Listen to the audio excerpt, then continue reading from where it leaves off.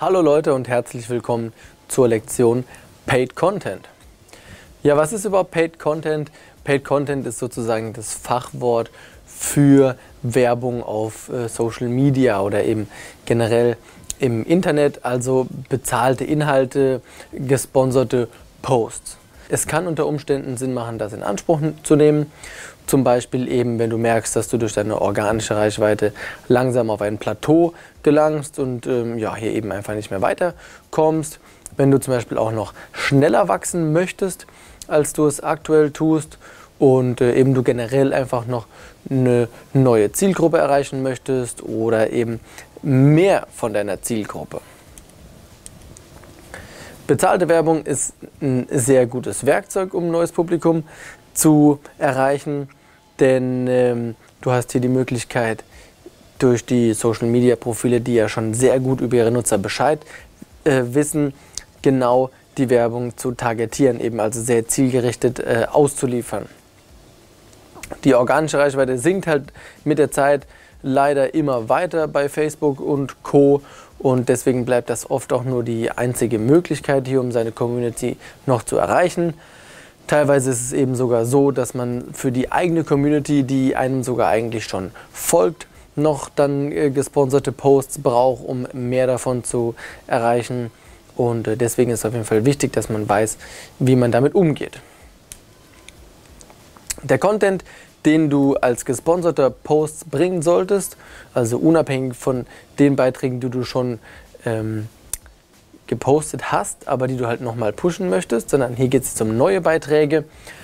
Die machst du am besten äh, kurz und knackig und oder kontrovers. Sie sollten auf jeden Fall ein Eyecatcher sein und eine coole Story vermitteln.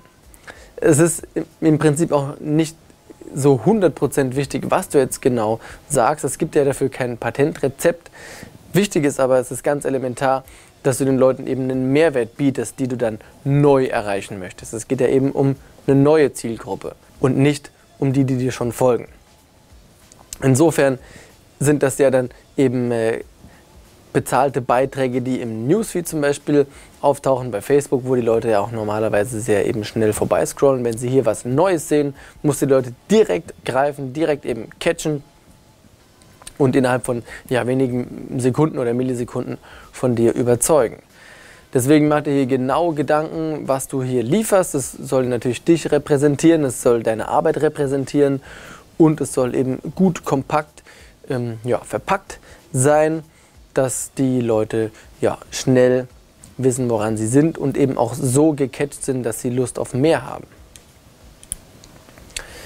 Deine Zielgruppe kannst du genau aus deinen Statistiken auslesen das heißt, eben du schaust mal an, wer folgt dir denn bis jetzt schon so, was sind das für Leute und es ist natürlich dann auch sehr wahrscheinlich, dass es noch mehr Leute auf dieser Welt gibt, die in dieses Raster fallen und an die du dann diese Posts ausliefern kannst. Du hast dann die bestmögliche Targetierung, wenn du eben nicht einfach nur dir was aus der Luft greifst und sagst, ich hätte gerne an alle Leute, die gerne Hip-Hop hören, was ausgeliefert, sondern das Ganze eben noch genauer machst.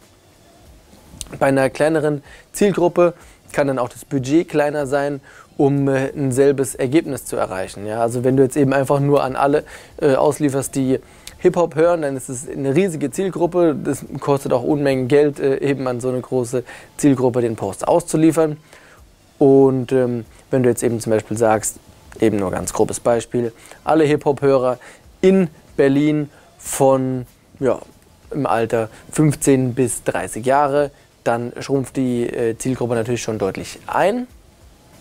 Und die Leute, die dann eben den Post erhalten, sind ja auch wahrscheinlicher Leute, die mit dir interagieren werden. Das heißt, dein Geld ist auch viel besser angelegt. Du kannst dann eben auch noch äh, Interessen angeben, sowas wie Hip-Hop wäre dann zum Beispiel eine Interesse oder ähm, dass sie bestimmte Clubs feiern, eben dass sie in einer bestimmten Gegend wohnen, wie alt sie sind. Es gibt unfassbar viele Möglichkeiten, die du hier einstellen kannst. Mach deine Zielgruppe deswegen so klein wie möglich, so genau definiert wie möglich, denn hier ist eben dein Geld dann am besten angelegt. Du kannst außerdem Lookalikes von den aktuellen Followern erstellen, dann ähm, macht Facebook eben sowas wie, dass sie ähm, schaut eben, wer folgt dir denn aktuell, und macht dann von sich aus einen potenziellen neuen User, an den sie die Sachen dann ausliefern. Außerdem kannst du bei Paid Content sehr gut Links einbinden. Das ist ja zum Beispiel auch etwas, was auf Instagram generell eben eher schwer ist.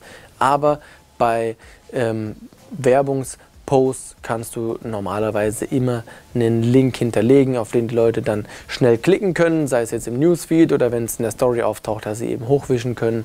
Und äh, deswegen kannst du hier sehr gut auch Dinge bewerben, unabhängig von der Plattform, auf der du eben gerade wirbst. Teste dein Budget langsam, komm jetzt nicht im Prinzip in den Werbefieber und äh, butte da direkt 20, 30, 50 Euro für Werbung raus auf einen Post. Das ist auf jeden Fall, ähm, ja, sagen wir mal, verschwendetes Geld. Es wird natürlich irgendwo ankommen, aber es geht ja darum, dass wir möglichst zielgerichtet die Aktionen durchführen. Deswegen starte mit wenigen Euro, ja, 2, 3, 4, 5 Euro, probiere mal aus, wohin die Reise geht. Und wenn du merkst, da kommt was zurück, das geht wirklich, dann kannst du ja immer noch mehr Geld reinstecken.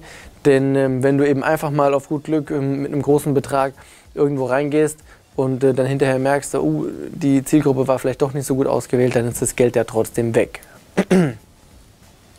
Wichtig ist auch, dass du dann bei der Bezahlart immer einstellst, dass du für die Klicks bezahlst und nicht das, wie oft Leute die Werbung gesehen haben. Denn das, an was du interessiert bist, ist ja eben der Klick. Du solltest verschiedene Arten von deinen Werbeposts ausprobieren. Das Ganze nennt man Split-Testen. Diese mehreren Varianten können sich insofern unterscheiden, dass der ähm, Content sich vielleicht ein bisschen ändert. Das heißt, dass äh, du Dinge anders formulierst, sei es jetzt die Bildunterschrift oder das zum Beispiel das Bild an sich, das du bewirbst, ein bisschen anders ist. Das Arrangement von dem, was zu sehen ist, ist etwas anderes. Ähm, die Anordnung von Dingen ist anders. Und ähm, hier hast du wirklich viele Möglichkeiten, mehr oder weniger dasselbe rüberzubringen, aber anders aussehen zu lassen. Da ja aber ähm, Menschen eben sehr subjektiv und individuell reagieren, musst du halt schauen, welche Variante eben vielleicht besser funktioniert, sei es jetzt eben durch die Farben oder eben generell das, was abgebildet ist oder das, wie du das beschreibst, was du bewirbst, was es auch immer ist. Mach mal zwei, drei Varianten von einem Werbepost und ähm, bewerb die mit wenig Geld. Und wenn du dann siehst, welcher von denen am besten performt hat, dann kannst du hier eben nochmal mit einem größeren Betrag reingehen. Die Laufzeit sollte dann nicht unter zwei Tagen betragen. Zum einen, weil dann dein ähm, Publikum den Post mehrfach angezeigt bekommen kann und natürlich zum anderen auch generell mehr Leute den Post sehen. Also wenn du hier nur wenige Stunden oder einen Tag einstellst, dann äh, verschwindet der schnell wieder im Nichts und ähm, oft ist es auch so, dass man mehrere Berührungen braucht, wie man so schön sagt, äh, bis man dann den Klick tätigt und äh, das mehr oder weniger gar nicht böse gemeint vom Konsumenten, sondern das ist einfach eben unser menschliches Verhalten, dass wir ab und zu mal ein bisschen länger brauchen, bis wir aktiv werden.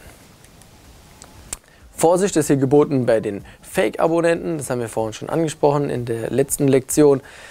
Denn wenn du hier Werbung an deine aktuelle Followerschaft äh, ausstellst, dann wird die ja auch an die Fake-Profile, an die Toten ja, ähm, ausgeliefert und äh, dass das natürlich Geldverschwendung ist, ist ganz klar. Hier wirst du nichts erreichen.